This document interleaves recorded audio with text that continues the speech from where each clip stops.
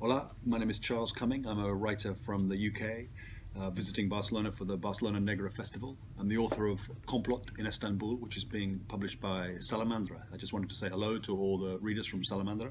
It's a great pleasure to be here in Spain.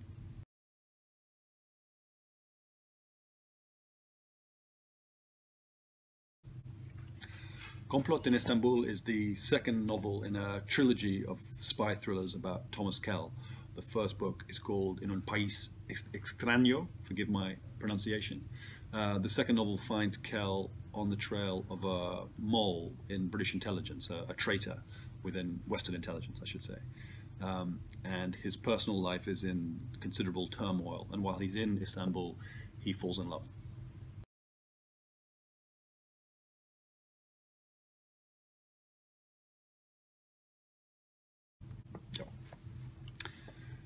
Complot in Istanbul is uh, an homage to an extent uh, to a very famous novel by John le Carre called Tinker Tailor Soldier Spy, which is a story of uh, George Smiley searching for a mole inside British intelligence.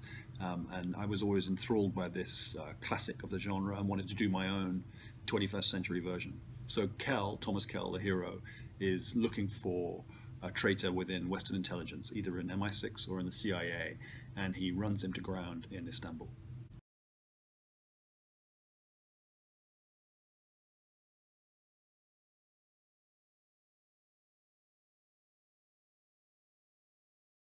Uh, some novels I, I love, uh, written by a British writer called Eric Ambler, who was operating probably most successfully in the 1930s and 1940s. I don't know if he's uh, published here in Spain, uh, but his, his books typically feature an ordinary man, an engineer, or uh, an accountant who finds himself thrust into the world of espionage and intrigue. So I would strongly recommend Journey into Fear or The Mask of Demetrios. But uh, Ambler wrote many books, and, and they're really the sort of the first serious political spy thrillers.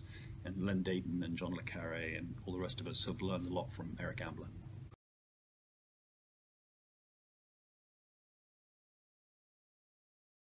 I'm currently reading a wonderful American novel, uh, A Gentleman in Moscow, by Amor Towles, which is, I believe, published by Salamandra.